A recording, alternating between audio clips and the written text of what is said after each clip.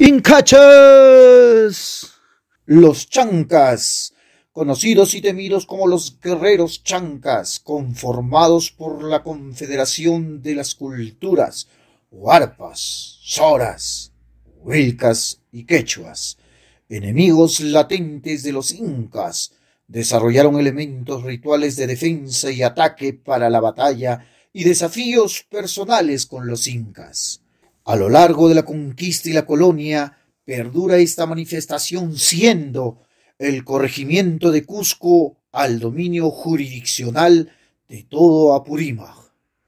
Es donde se incorpora el intercambio de expresiones culturales, donde se afirma que los incachas o incachos es una comitiva de corte militar que se instaló en Andahuaylas teniendo como origen de la zona del Valle de Urubamba, en el Cusco, la danza cachampa es un antecedente para la danza de los incachas.